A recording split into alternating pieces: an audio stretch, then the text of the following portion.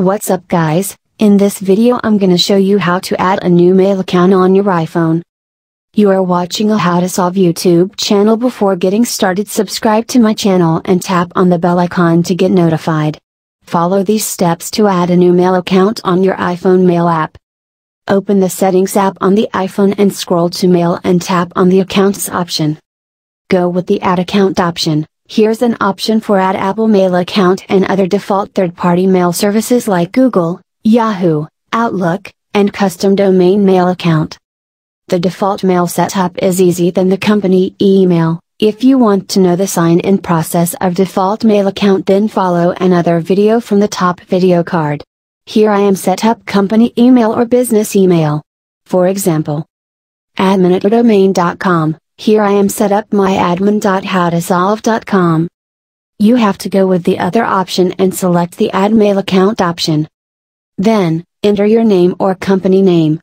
Then enter the email address, that is your company email. Next, enter the password that we used for sign in. And tap on the next button.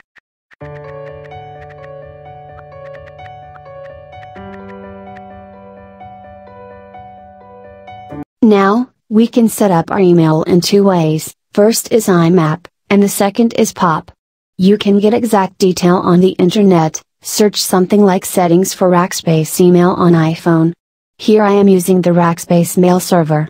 I can get mail settings by searching Rackspace mail settings iPhone, here are the details for my mail setup.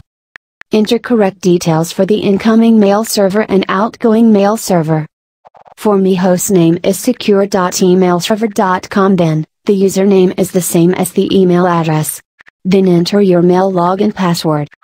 The second section is an outgoing mail server, enter hostname then other information is optional for me. So I am not submitting it.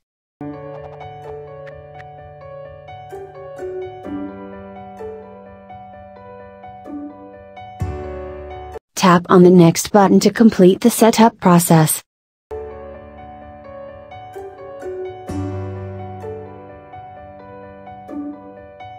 If your mail service taking a longer time then try after switching to mobile data from the Wi-Fi network.